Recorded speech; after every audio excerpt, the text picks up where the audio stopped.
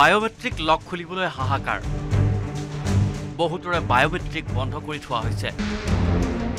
N R চিৰ চূড়ান্ত খচৰাৰ পাছতেই বন্ধ আছিল বহুতৰে বায়'মেট্ৰিক যাৰ বাবে কেইবা লাখ লোকে আধাৰ কাৰ্ড বনাব পৰা নাছিল।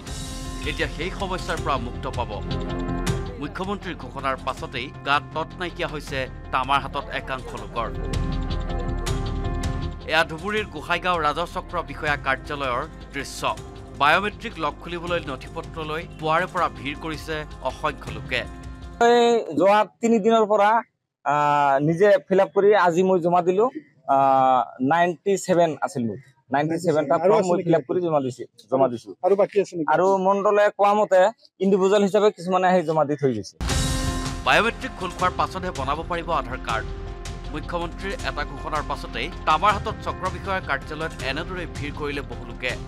কাৰণ যিসকলে এন আৰ চিৰ সময়ত আধাৰ কাৰ্ডৰ কাৰণে বায়'মেট্ৰিক দিছিল তেওঁলোকৰ একাংশৰ এতিয়াও আধাৰ কাৰ্ড প্ৰচেছিং দেখুৱাই আছে।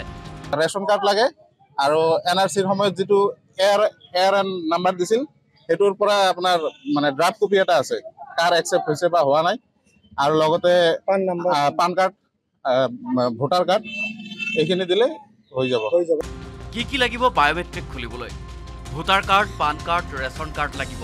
এন আৰ চিৰ এ আৰ এন নম্বৰ পৰিয়ালৰ আন সদস্যৰ আধাৰ কাৰ্ড। এন আৰ চিৰ খচৰা তালিকা জন্মৰ প্ৰমাণ পত্ৰ নাবালকৰ বাবে। দিয়াৰ পাছতহে বায়'মেট্ৰিক খোল খাব।